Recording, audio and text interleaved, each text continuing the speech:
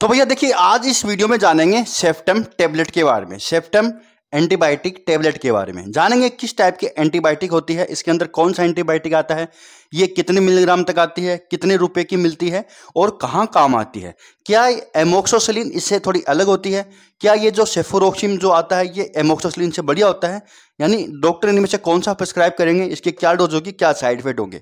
Video पूरा देखेगा तो दोस्तों, सबसे पहले बता देता हूँ, जो सेफ्टम होता है ना ब्रांड होता है जी कंपनी का। जी एस के कंपनी का, यानी गलेक्सो सुमित कंपनी का।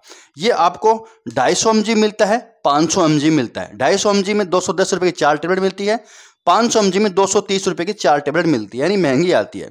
इसके अंदर क्या आता है? शेफुरोक्सिम शेफुरोक्साइम आता है इसके अंदर। शेफुरोक्साइम एक एंटीबायोटिक होता है। ठीक है? एंटीबायोटिक होता है। अब देखिए एमोक्सोसलिन भी एक एंटीबायोटिक है, ये भी एक एंटीबायोटिक है। तो दोनों में क्या अंतर है? इनमें इनमें बेस्ट कौन सा है?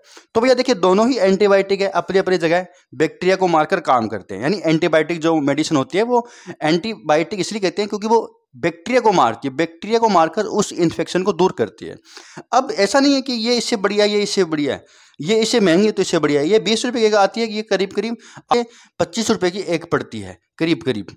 ठीक है, अब देखिए डिफरेंस क्या है? तो एक तो दोनों ही एंटीबायोटिक है, दोनों अपनी अपनी जगह काम करेगी। कई बार क्या होता है दोस्तों सेफोरोक्सिम कुछ पेशेंट में देखा गया है कि एलर्जी कर देता है। उस, कुछ पेशेंट को इससे एलर्जी होती है तो वहाँ पर डॉक्टर इसको एमोक्सोसिलिन देंगे पोटेशियम कल्विनेट के साथ।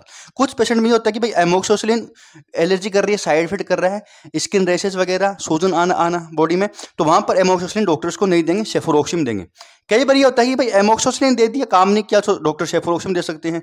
या शेफरोक्सिम दे दिया, उसको बहुत ज़्यादा गर्मी महसूस हो रही है, क्योंकि एंटीबायोटिक गर्म कर सकती है तो वहाँ पर फिर एमोक्सोसिलिन दे सकते हैं। तो यही अंतर होता है, बाकी कोई अंतर नहीं है, दोनों ही बेस्ट दवा है। ये हो सकता है भाई एमोक्सिसिन देने के पर थोड़ा स्लो रिएक्शन हो जाए, जैसे मान लो अगर घाव भरना है, ठीक है वाउंड प्रॉब्लम है, घाव नहीं भर रहा है टाइम ले रहा है तो एमोक्सिसिन दे रखा है डॉक्टर देख रहा है कि भाई नहीं, काम हो रहा। तो फिर डॉक्टर फिर डॉक्टर फिर इसको दे देंगे कि भाई ये ले लो इस बार चेंज कर देंगे। तो बाकी दोनों अच्छी है, दोनों दवा बहुत अच्छी आती है।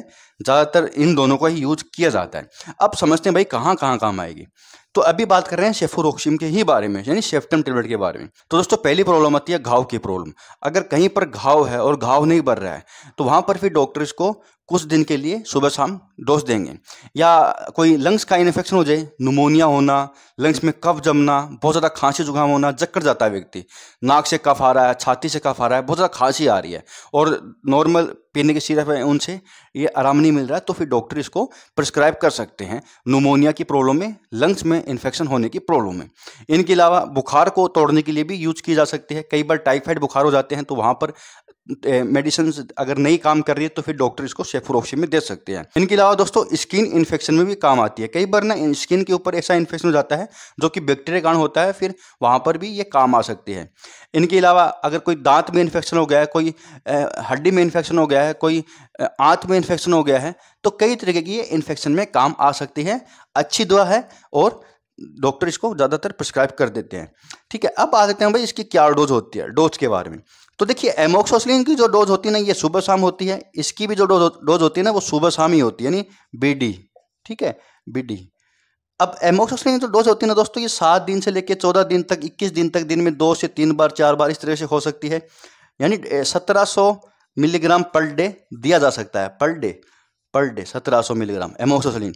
शेफरोक्सिम इतना नहीं दिया जाता। ये एक सुबह एक शाम होगा और करीब करीब दस दिन तक ही दिया जाता है। ज़्यादातर देखा गया कि जो शेफरोक्सिम होता है ना अमूमन दस दिन तक दिया जा सकता है।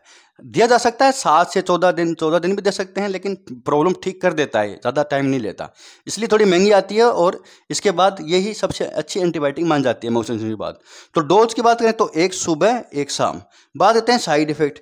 देखिए, ढाई सौ एम जी टेबलेट होती है ये करीब करीब चौदह, पंद्रह, सोलह, सत्रह साल तक की एज में चलती है। और जो पाँच सौ एम जी होती है ना, ये अठारह साल के बाद के जितने व्यक्ति होते हैं, उसमें चलती है। अच्छा बात करते हैं भाई साइड इफ़ेक्ट देखिए साइड इफ़ेक्ट सेफरोक्सिम के बारे में बात करें अभी साइड इफ़ेक्ट अगर बात करें तो हो सकता है कि भाई दस्त लग जाए, उसको डायरिया हो जाए, पेट में गैस बन जाए नोजिया प्रॉब्लम होने लगे, या कोई स्किन रेसेस देखने को मिल सकती है। इनके अलावा अच्छी दवा है, कोई साइड इफ़ेक्ट नहीं होते। अगर आपको इससे एलर्जी है तो डॉक्टर को पहले ही बताना है। कोई भी चीज़ से एलर्जी होनी तो डॉक्टर को पहले बता देना चाहिए। तो ये था सब कुछ सेफ्टम टेबलेट के बारे में। दोस्तों, यहाँ तक वीडियो के लिए बहुत बहुत धन्यवाद।